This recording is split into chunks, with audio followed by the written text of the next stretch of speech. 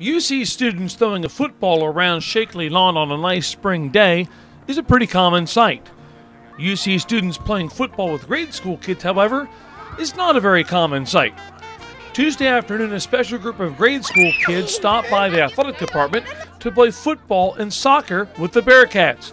They came out here to have fun and learn about a little bit about school. And we just came out to have fun and play with the kids a little bit, show them a little bit something about football.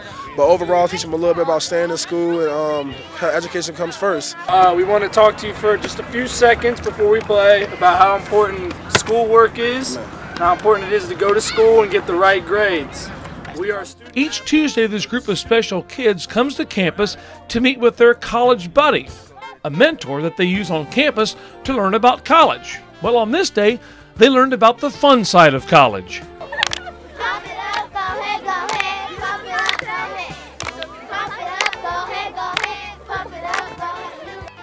The guys on the football team that came out to play with the kids on this day took the opportunity to sell them on college and also explain the importance of academics.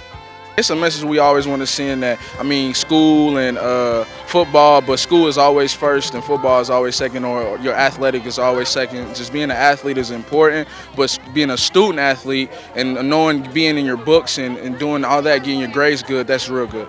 Uh, the most important message is education and the importance of, of education. And you know, it's good to come out here and have fun, and it's good to have fun in your sport or outside of school. But education has to be the focus. You know, school has to be the most important thing. It's, it's, it's real fun to get it across. It is more important to get it across, you know, because you know some kids they don't have that, that role model in their life to let them know the things about how important school is and how it's important for you to go to school and do good so you can be successful.